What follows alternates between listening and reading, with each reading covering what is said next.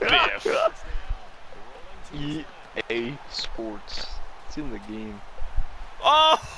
Oh! This is the longest run I've ever had in my career. Oh, this person only did one part of my ass edition. Fuck.